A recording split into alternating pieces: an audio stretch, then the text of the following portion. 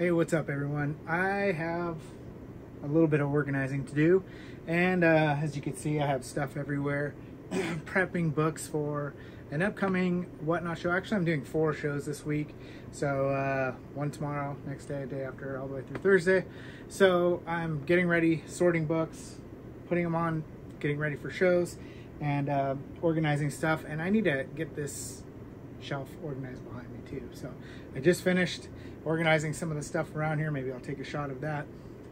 But I figured, you know what, might as well do a little fun time lapse library organization type thing. So hang out and check it out.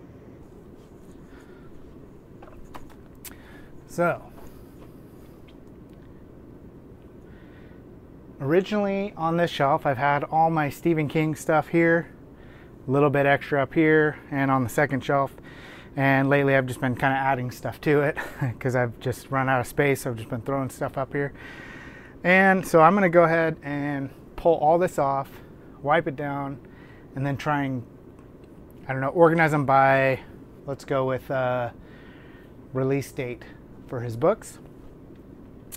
I have a bunch that I read last year that I need to put back into here, and a bunch that I read this year so far that aren't going to be in there, so I'll have to skip a few.